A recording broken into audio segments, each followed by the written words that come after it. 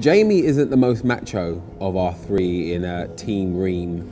Um, I think the Doll's House definitely brought out the uh, the weaker side of him. Let's face it, if you're thrown in a big, dark, scary house and you're asked to essentially find things and walk around in the dark, you're definitely going to be a bit wimpish, and he definitely was that. It was fantastic to watch, but um, I won't be swapping places with him anytime soon.